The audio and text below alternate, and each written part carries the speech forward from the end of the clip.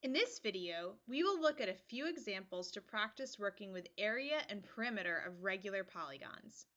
In example A, it says, what is the perimeter of a regular octagon with 4-inch sides? So when you see octagon, you should remember that's a shape with 8 sides. Because it says it's regular, that means that all 8 sides are the same length. So if each side is 4 inches, the perimeter, which is the distance all the way around, will just be 4 times 8 because there are 8 sides and each side has length 4 inches. So therefore the perimeter will be 32 inches. In example B, it says the perimeter of a regular heptagon is 35 centimeters. What is the length of each side? So a heptagon has seven sides. And again, it says it's regular, so all seven sides are the same length. So if the perimeter is 35, that means each side length will be the perimeter divided by how many sides there are. So 35 divided by 7, which is 5 centimeters. So each side would be 5 centimeters, so that all seven sides added up would make 35 centimeters. In example C, it says find the length of the apothem in the regular octagon. Round your answer to the nearest hundredth. So the apothem is this red line right here, and it's the height of this triangle, if you notice.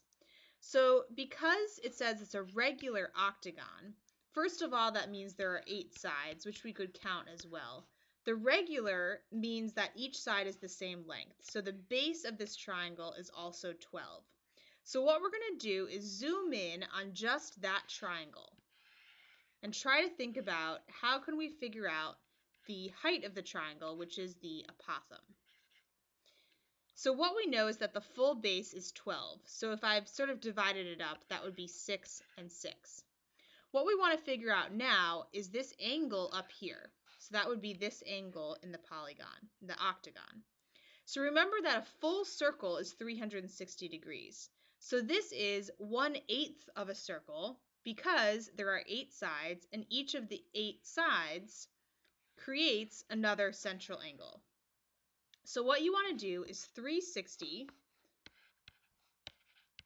divided by 8 and you get 45 degrees. So this angle up here is 45 degrees, which means each half is 22.5 degrees because that's 45 divided by 2. So now if we just focus on the left side, this right triangle, we could use trigonometry to help us to solve for our missing side, the apothem. So we have an angle, and we also have the side opposite from the angle, and we're looking for the side that's adjacent to the angle. So that means we're going to want to use tangent to help us out to get our missing side because tangent is the ratio that has to do with opposite and adjacent. So our equation will be the tangent of 22.5 degrees must equal 6, the opposite side, over A, the adjacent side. Now the tangent of 22.5 degrees is approximately 0.414. So once I've substituted that in, I can cross multiply to start solving for A. I get 0.414a equals 6. And then I'll divide both sides by 0.414 in order to get a. And I get that a equals 14.49, rounded to the nearest hundredth.